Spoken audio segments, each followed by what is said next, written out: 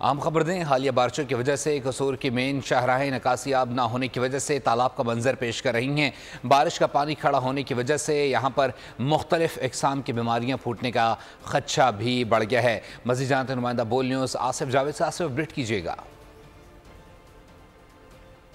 बारिशों की वजह से जो कसूर की जो मेन शाहरा हैं, इनके करीब पानी की नकासी ना होने की वजह से जगह जगह पानी खड़ा हुआ है। और अगर मेरा कैमरामैन दिखाए तो यहाँ पर जगह जगह पानी खड़ा हुआ है और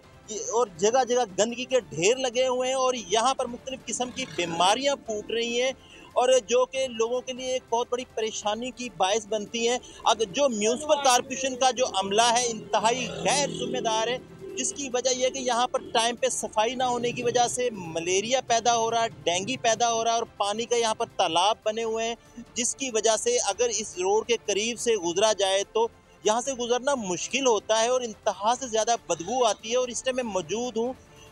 कसूर के मेन शहर के अंदर खाराम और चुंगी पर, जहाँ पर जगह जगह गंदगी के ढेर लगे हुए ये मैडम नूर जहाँ का सोना शहर कसूर है, जिस जो कचरा कुंडी में भी तब्दील हुआ पड़ा और यहाँ पर जो इस सड़क के करीब है तो म्यूनसिपल कॉरपोरेशन के अमले को बार बार याद दहानी करवाने के बावजूद भी उनका रिज़ल्ट ज़ीरो है और कसूर की आवाम का यही मुतालबा है डी सी कसूर से इसका फिल फोर एक्शन लिया जाए। जी।